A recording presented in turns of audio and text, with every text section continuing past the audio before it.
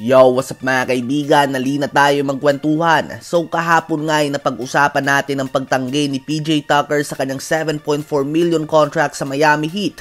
Pinaliwanag ko rin sa inyo na hindi ibig sabihin nito na ayaw na niya sa Miami Heat. Sadyang sa palagay niya lang ay karapat dapat siya na makatanggap ng mas mataas na sahod at mas mahabang contract. Nabanggit ko din sa inyo na isa sa mga teams na dapat abangan ay ang Philadelphia 76ers dahil matalik nga talaga silang magkaibigan ni James Harden. At ngayon nga mga kaibigan ay binalita ng Sixers official beat writer na si Kit Pompey na plano ng Sixers bigyan si PJ Tucker ng 3 years 30 million contract. So epektibo na nga kaagad ang plinano ni Tucker at ng kanyang agent. Dahil ngayon nga ay mapipilitan na ang Miami Heat na tapatan nito kung nais silang bumalik sa kanila si Tucker. Ganun din ang ibang mga teams na interesado sa kanya. Tila ba isang bidding ang nagaganap?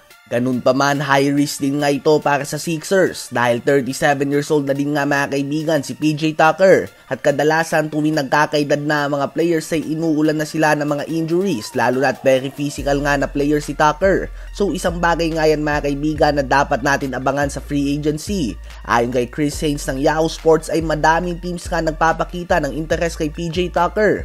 Ano ba masasabi nyo tungkol dito? Ngayon ay tumungo naman tayo kay Kevin Durant. Habang papalapit lang nga ng palapit ang free agency, lalo lang nga na lumalakas sa mga rumors o mga usap-usapan na aalis na si Kyrie Irving sa Nets. Patungo man ito sa Lakers, Knicks o Clippers. Ganun pa man ang usapan nga dito ay malakas ang tsansa na umalis ang tanging dahilan kung bakit ginusto ni KD na lumipat sa Brooklyn Nets.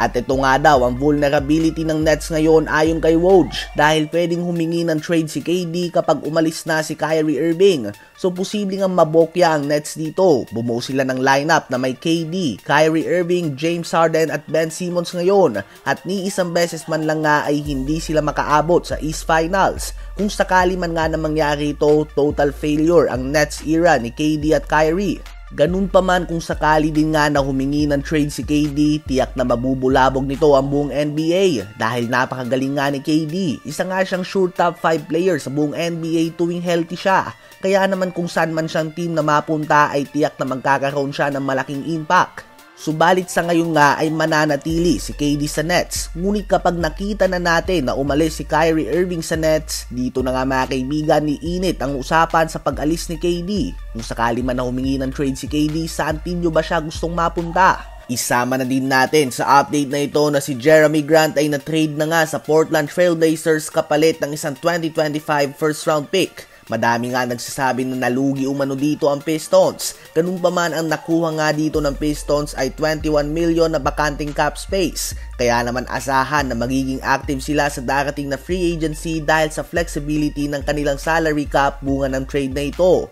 Ano ba masasabi nyo tungkol dito?